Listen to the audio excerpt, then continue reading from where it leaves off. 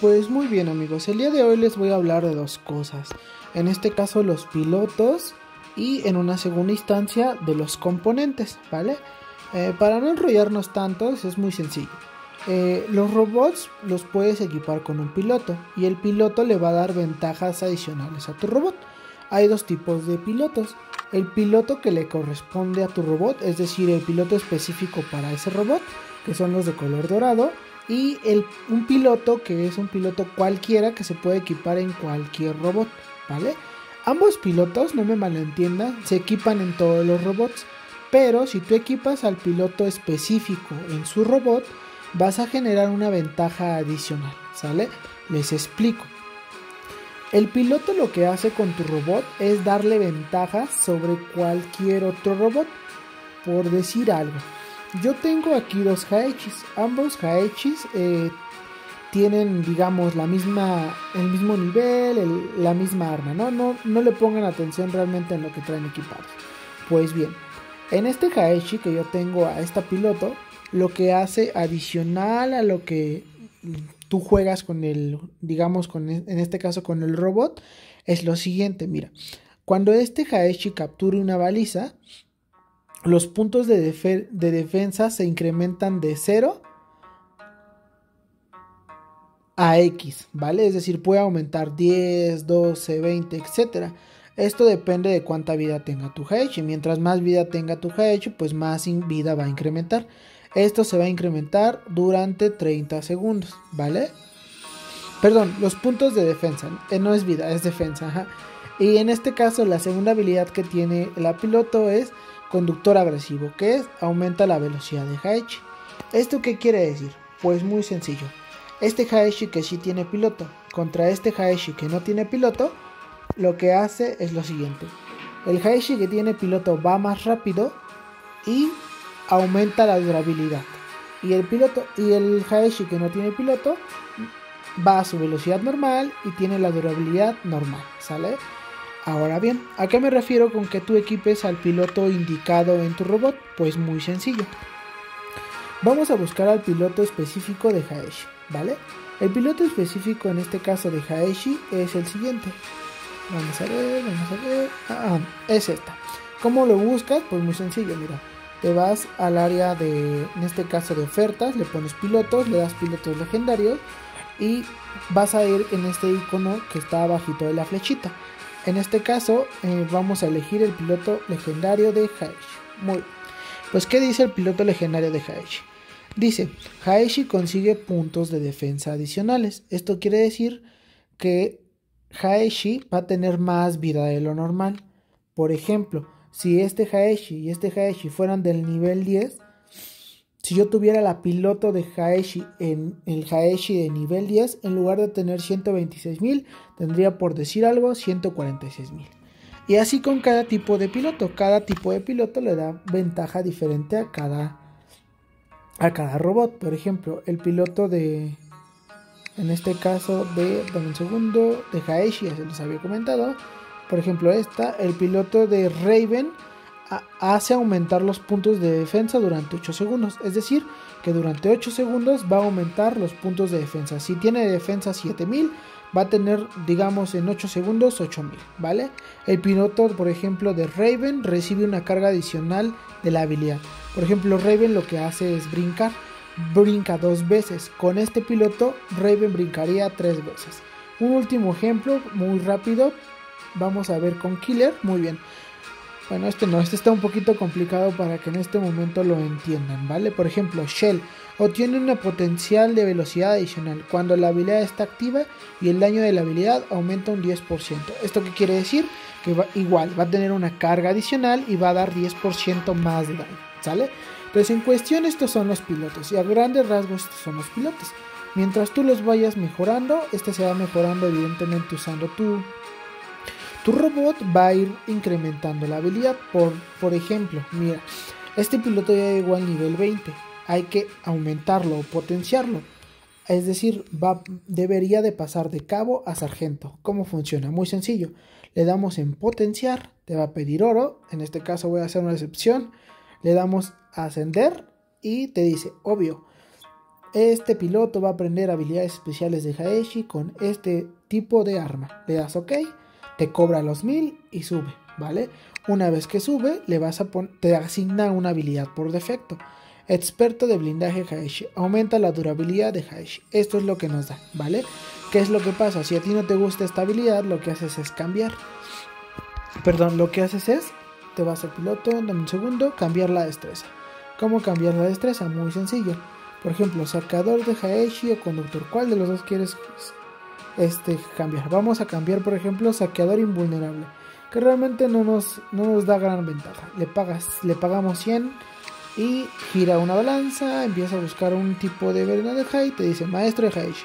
Aumenta la velocidad. ¿La quieres o no la quieres? Pues yo ya tengo un maestro de Haeshi, ¿no? Como para qué quería dos. Pero bueno, en este caso, para no tener la vamos a descartar. No, esto solo lo hice para que ustedes sepan cómo funciona. Muy bien. Y por número 2 vamos con los componentes. Los componentes como tal únicamente son como refacciones para construir tu robot o construir tus armas. Los componentes los puedes poner por uno o por tres días. Te van a costar plata, los que le, los que le comentaba. Para comprar el robot necesitas plata. En este caso, digamos, yo quiero que por tres días, bueno, en este lado están las armas, no pongamos atención en este momento. Yo quiero que por tres días me produzcan componentes de, en este caso, Spectre. Le pones reproducir y se inician a reproducir.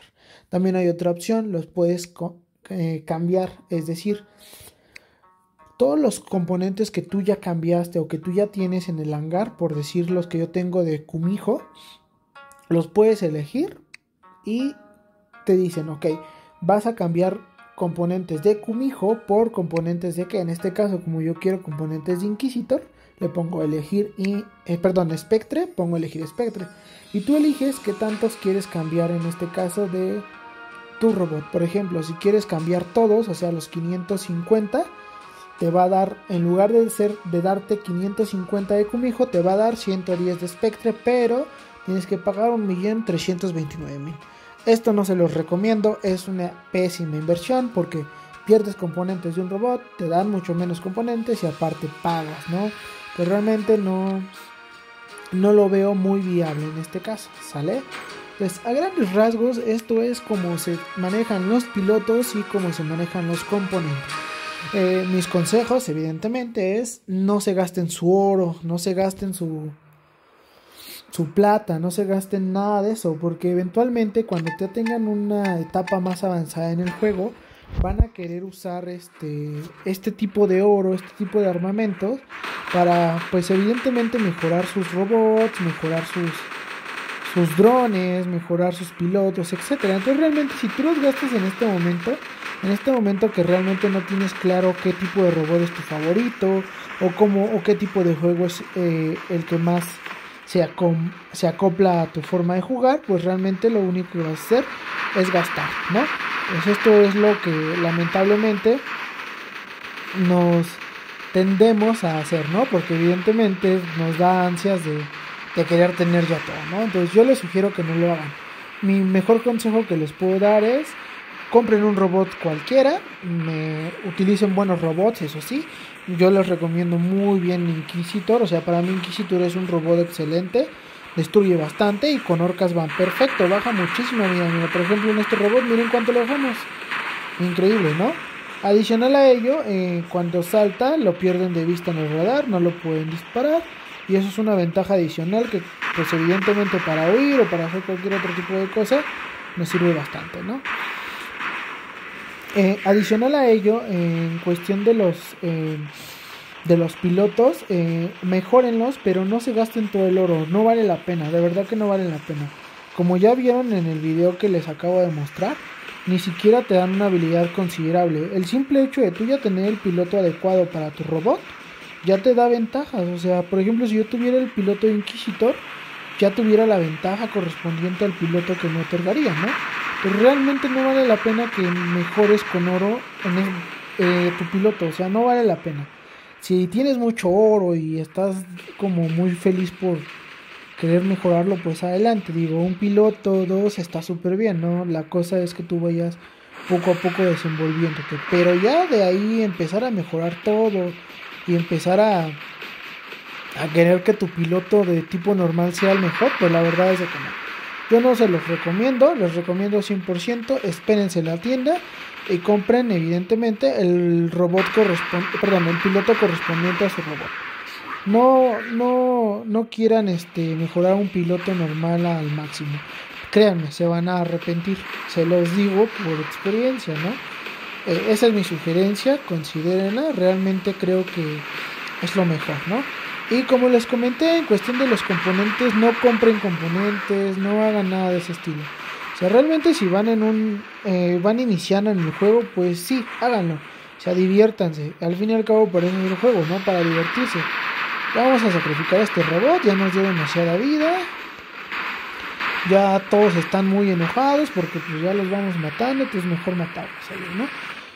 Eh, como les comentaba, eh, compren los robots, pero no compren robots que no sean útiles, ¿vale? O sea, compren robots buenos. Y lo mejor que les puedo decir es ahorren. Ahorren muchísimo, en este caso muchísimo.